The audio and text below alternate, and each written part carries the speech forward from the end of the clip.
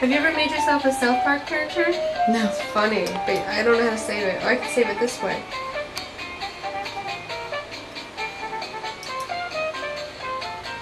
I think girl needs some electrolysis. Is it this one? Yeah. No, it was this one. Mm-hmm. I had,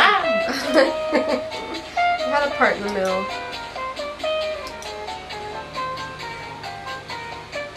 I don't wear. I didn't see this one. I would have done that one. Mm.